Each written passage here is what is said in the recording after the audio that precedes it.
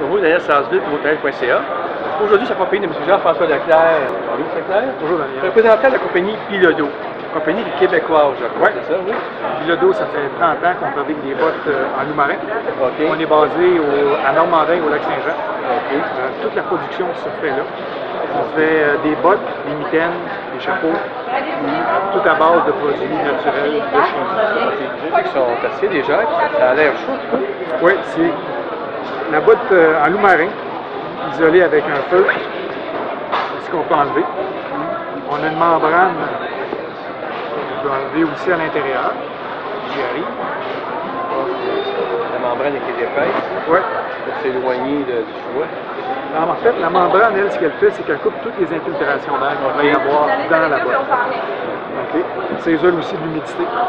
C'est pas 100% imperméable, mais ça isole de l'humidité. On a aussi à l'intérieur une semelle en plastozote avec un petit feutre ici. Ça, ça, ça coupe le froid beaucoup, beaucoup. Notre semelle réflexive, elle aussi, elle est, elle est- il y a des lignes à l'intérieur pour avoir des, des séparateurs, des cages qui bloquent l'air. Donc, on a des cellules d'air chaud qui nous soulèvent du froid, de la glace, la neige. OK. Les genres de portes qui rester longtemps dehors. C'est c'est des bottes qui, à l'origine, étaient portées par les Inuits. Quand ils passaient leur journée dehors à chasser, c'est ça qu'ils portaient dans leur pays. La motoneige, on ne devrait pas vivre normalement avec ça.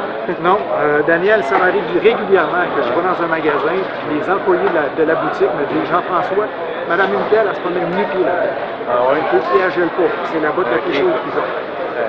Ouais, ouais,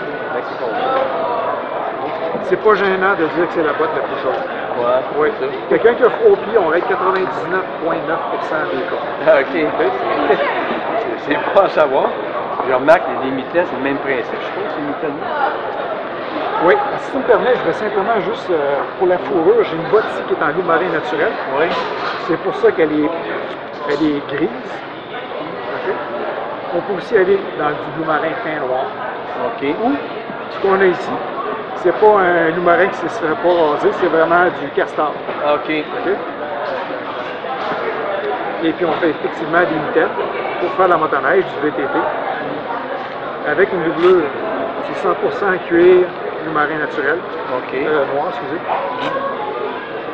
Puis on a une doublure qui est amovible. Après une longue journée de motoneige, pour, la- pour laisser sortir l'humidité, que ça serait accumulé. Je pense que il y en a plusieurs qui vont se sentir au chaud cet hiver. Oui, oui.